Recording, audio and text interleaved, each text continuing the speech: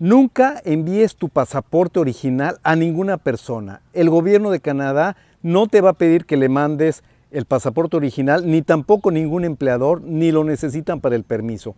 Únicamente van a requerir una copia y ya cuando te vean a ti en persona, que tú les entregas el pasaporte, entonces es que lo van a necesitar ver el original. ¿Por qué te comento esto? Porque hay muchos amigos en mi canal que me dicen que les están pidiendo el pasaporte original por supuestas ofertas y luego ya no se lo regresan y no tienen forma de recuperarlo.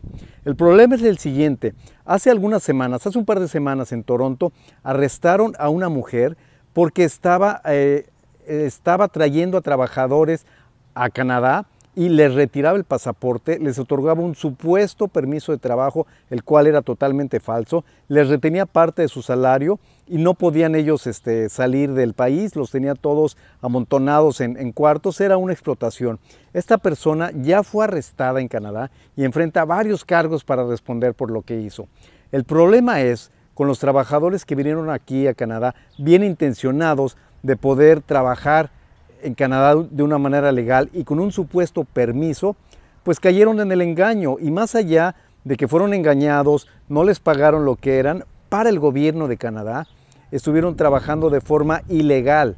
Entonces, estas personas fueron deportadas a su país de origen, fueron devueltas y tienen ya un antecedente, tienen un récord en Canadá que no les va a poder permitir entrar o trabajar en Canadá más adelante si es que así lo desean.